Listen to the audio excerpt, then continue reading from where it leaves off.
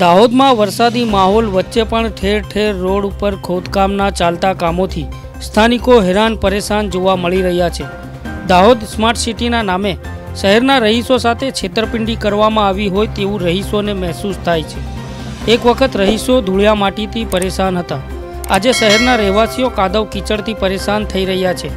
આખા શહેરમાં રસ્તાઓની કોઈ નિશાની જ નથી જોવા મળતી.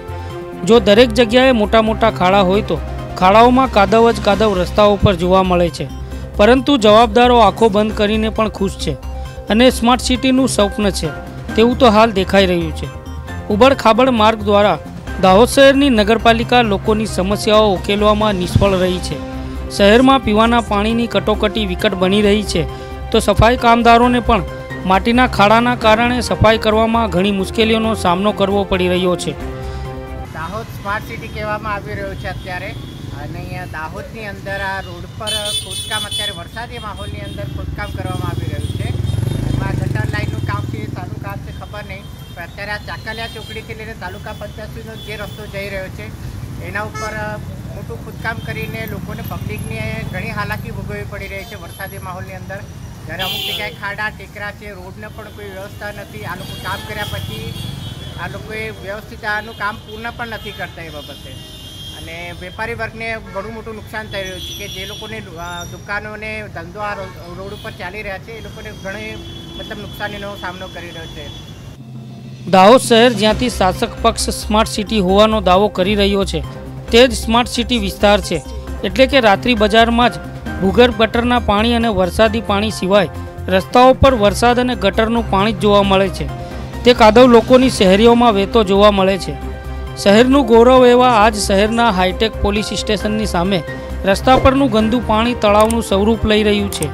ખુદ પોલીસ અધિકારીઓ આ સમસ્યાથી પરેશાન છે. પરંતુ પાલિકાના સત્તાધીશો તેમની વાત પણ સાંભળવા તૈયાર નથી. જ્યારે પાલિકાના સત્તાધીશો પણ આ દ્રશ્ય દિવસમાં ઘણી વખત જુએ છે. પરંતુ ઈચ્છા શક્તિની ગેરહાજરીમાં તેને સ્માર્ટ સિટી ગણીને આપણે ગંદા પાણીના અસ્થિરતાને રોકવાનો પ્રયાસ પણ કરી રહ્યા નથી. અત્યારે નગરપાલિકા શહેરની સમસ્યાઓ ઉકેલવામાં અસમર્થ છે. જ્યારે પાલિકામાં વિપક્ષમાં બેઠેલા કાઉન્સિલરો પણ તેમની નબળાઈ અને શહેરમાં ચાલી રહેલા કામો પર શાસક પક્ષનું ધ્યાન દોરે છે.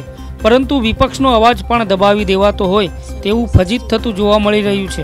હાલની નગરપાલિકાના સત્તાધીશો આ ગર્વમાં છે કે અમારી સરકાર રાજ્યથી કેન્દ્ર સુધી છે. તો પછી આપણને વિપક્ષને શા માટે સાંભળવું જોઈએ?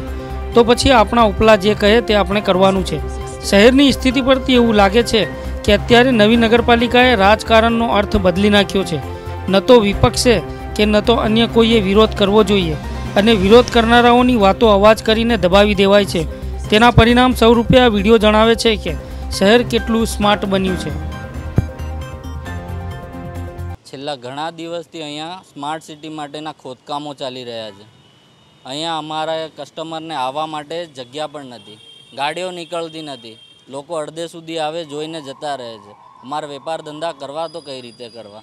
આટલા સમયથી ખોદકામ ચાલે છે. સ્માર્ટ સિટી કરીને કારના ખોદકામ કરી રહ્યા છે. ડાયવર્ઝનો મૂકી દીધા છે. એક કસ્ટમર આવવા માટે તૈયાર નથી. ચારે બાજુ કિચડ જ કિચડ છે. હવે શું કરવું? કઈ રીતે? કોની પાસેથી જવાબ લેવો? હવે એ બધું સમજાવશે અમને? કોણ? નગરપાલિકા સમજાવશે કે અમે આ કારીગરો જોડે રોજે રકઝક કરવી અમને કંઈ સમજમાં આવતું નથી. હવે આ વેપાર ધંધો જેનું નુકસાન થઈ રહ્યું છે, એ નુકસાનની ભરપાઈ કોણ આપશે? ખાસા સમયથી ખોદકામ ચાલી રહ્યું છે.